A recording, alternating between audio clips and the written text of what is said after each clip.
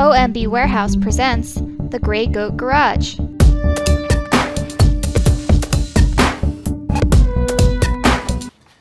Hello and welcome back to OMB Warehouse, home of the Gray Goat Garage. Today we're going to take this Hemi Predator engine and I'm going to show you how to adjust the valves on this. A very common issue with most customers is they'll buy a new camshaft and they'll put it into the engine. They will not readjust their lash. Then they're going to say, hmm, it won't pull. It, uh, I broke my rope. Um, there, there's a reason behind that. Most cam grinders take a stock base circle cam and they'll regrind it. You'll notice if you regrind the base circle itself, it makes it smaller, but it also increases the lift at, at the top of the lobe. So most cams aftermarket that have uh, additional lift or duration will have a reduced base circle. And when your tappet sits right here, it's going to adjust that gap between your push rod and your rocker arm. So let's get this started. The biggest issue when you're adjusting your valves is this little thing here called the decompressor. Once your engine starts, centrifugal force moves this little arm out of the way and it doesn't burp open your exhaust valve. That makes it easier to start. Um, if uh, you set your, your lash and the lifters on this little tang here, you're going to get an incorrect uh, lash setting. Um, that's the biggest cause of not being able to pull over your engine is the lash on the exhaust valve. When I adjust the valves on one of these engines, first thing I'm going to do is take the recoil cover off. I know, I know, you guys are saying, hey, why is that fat guy taking the recoil cover off? Well, I'll show you here in a sec.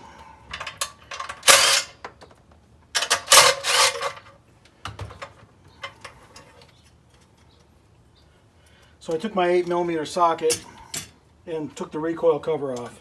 Now I'm going to take a 3 quarter inch socket and get this spark plug out. It was already loose. I didn't even need that. So now I'm going to take my plug out as well. The only reason that I take the plug and the recoil off is so I can go like this. It's always good to rotate this engine through to make sure that uh, we're, we're, on the right stroke and uh, we can turn the crank in smaller amounts. When the spark plugs in, there's some compression. Won't always let you turn it. Sometimes going to want to push back. So let's take our 8 millimeter wrench get our valve cover off as well.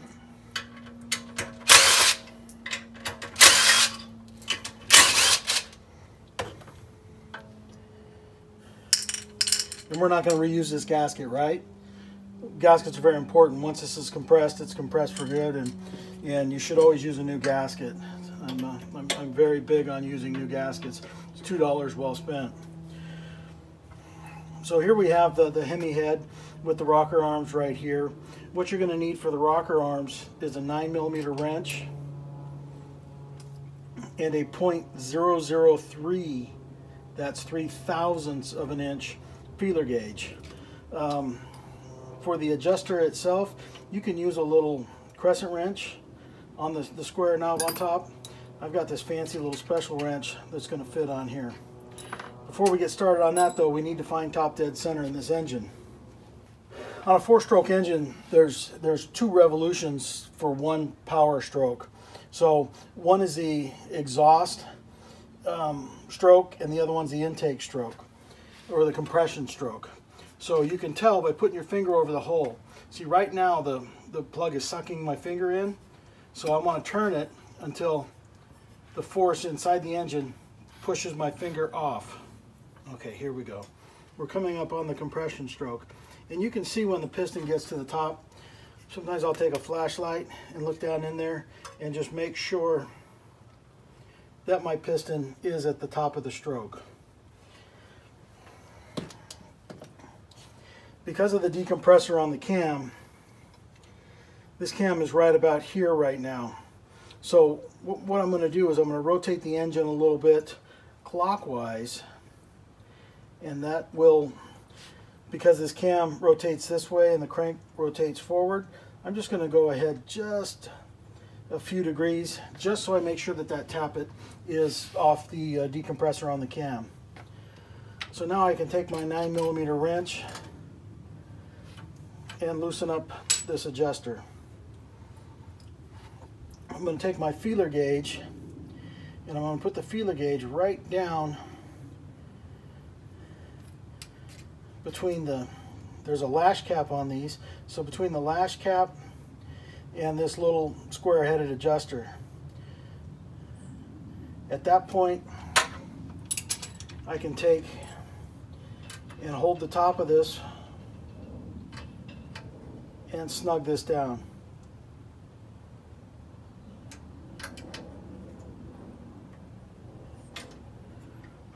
the Hemi's a lot easier than the non-Hemi engine what I'm going to do is I'm going to go back and I'm going to verify that this has a little bit of tension going through. And there is some tension in there. I can move the feeler gauge in and out. So the valve lash on the exhaust valve is set. We're going to go ahead and go back and take care of the intake now. Which looks really loose at this point. Um, these engines come from the factory a little bit loose.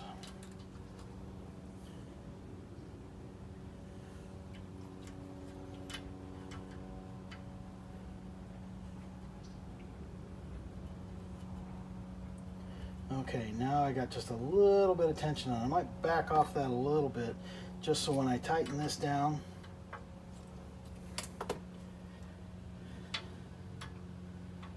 it's going to get a little bit tighter when you tighten it down anyway.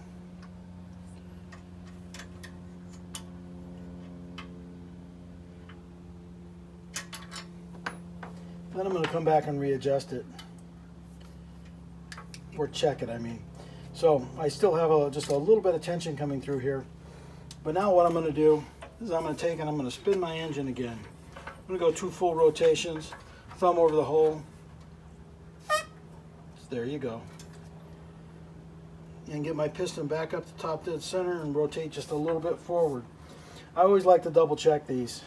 Um, the, the Hemis are definitely easier than the non-Hemis. Okay, I'm good on the exhaust.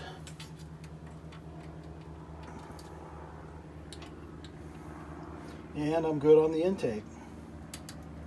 So that's all there is to adjusting the valves when you buy an aftermarket camshaft, you're going to get a yellow card with it. If it's a dyno cam, it's going to tell you what the lash setting should be. That setting is a cold setting. Typically, it's 0.003 or 3 thousandths of an inch. Um, when you put a new cam in your engine, always adjust your valves. When you adjust your valves, use a new valve cover gasket. And uh, so we're, we're all done here. Essentially all we have to do is put the spark plug back in, the recoil on, and the valve cover on with uh, a new gasket, and we're ready to roll. This will make your engine run well and save you from uh, breaking those recoil ropes. Thank you for stopping by OMB Warehouse, home of the Gray Goat Garage. Thank you. The Gray Goat Garage is powered by OMB Warehouse. Check us out at ombwarehouse.com.